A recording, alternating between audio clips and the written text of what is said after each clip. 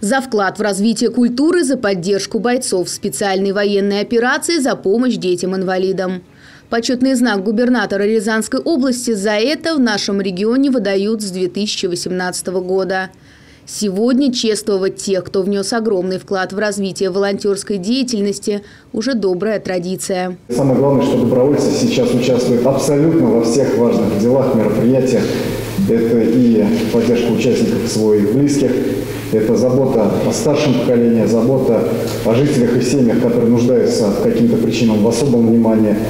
Это работа с молодежью, проведение социально важных, значимых мероприятий, акций, многое-многое другое. День добровольца – праздник, который установили указом президента Владимира Путина только шесть лет назад. Хотя у волонтерского движения в России давняя история – Сейчас добровольческая деятельность в нашей стране развивается во всех сферах. На самом деле очень много деятельности мы связаны было именно с э, художествами различными, которые мы вот в городе создавали. То есть это и фестиваль «Город в красках», который у нас, по-моему, уже три года идет.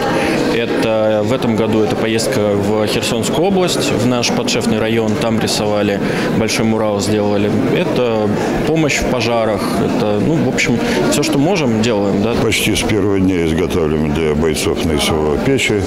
Совсем недавно начали делать нагревательные баки, чем очень порадовали ребят, облегчили им жизнь, дали дополнительную нагрузку себе, но тем не менее справляемся. Каждый волонтер – это человек с большим сердцем, ведь за добровольческую деятельность главная награда – это польза обществу и благодарные отклики. Если честно, я в своей жизни много чем занималась. Я убирала из сквер на протяжении долгих лет.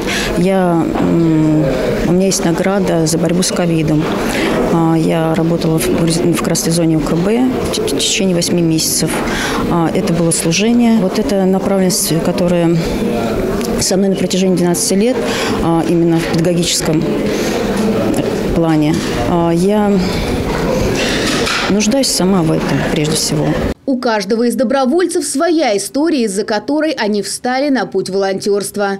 Но всех этих неравнодушных людей объединяет одно – Безусловная любовь к ближнему. Кристина Бочкарева, Дмитрий Ефимов, телекомпания «Город».